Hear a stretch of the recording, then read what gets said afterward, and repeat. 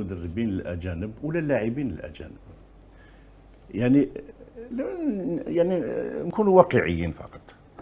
les bons joueurs africains اللي حقيقة لاعبين ذو مستوى كبير. كبير. وين يروحوا؟ أوروبا. أوروبا. هنا c'est le tremplin واللي واللي واللي أقل منه شوي أقل منهم شوية. يعني ما يكونوش في مستوى باش يلعب في فريق أوروبا. بطولات خارجية. يروح للخارج. إلى تونس المغرب. ويروحوا لمصر.